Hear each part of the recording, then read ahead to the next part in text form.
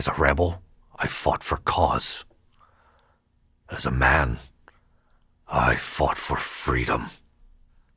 My name is James Wilson, and I fight to the end.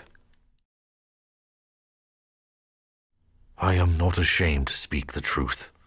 I was tried for treason, banished to Australia.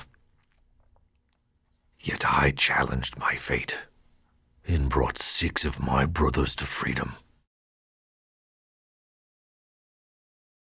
Think that we have been nearly nine years in this living tomb since our first arrest, and that it is impossible for mind or body to withstand the continual strain that is upon them. One or the other must give way.